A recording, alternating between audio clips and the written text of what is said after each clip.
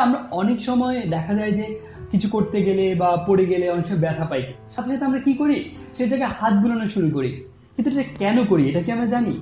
এর মধ্যে কোন বিজ্ঞানটুকু লুকিয়ে আছে? মূলত আজকে এটা নিয়েই কথা বলব। আমরা যখন ব্যথা পাই, তখন আমাদের সেই জায়গায়, যেই জায়গায় মূলত আমরা ব্যথা পাই, সেই জায়গায় নিউরনগুলো কি করে? আমাদের মস্তিষ্কে সেই তথ্যটা প্রেরণ করতে থাকে। সেই তথ্যটা পাঠিয়ে দেয় আমাদের মস্তিষ্কে। ঠিক তখন যখন আমরা সেই জায়গায় হাত বুলানো শুরু করি, তখন সেই চারপাশের নিউরনগুলো কি করে? সেই হাত বুলানোর একটা আরামের অনুভূতি আমাদের মস্তিষ্কে পাঠিয়ে দেয়। তো দেখা যায় যে একই সময়ে আরামের একটা অনুভূতি আমাদের মস্তিষ্কে যেতে থাকে, আবার একটা ব্যথার অনুভূতি যেতে থাকে। তখন দেখা যায় অনুভূতিগুলো ভাগাভাগি হয়ে যায়।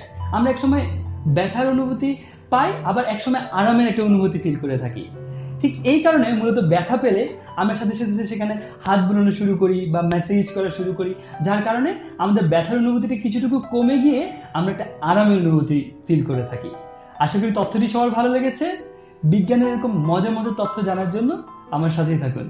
ধন্যবাদ সবাইকে।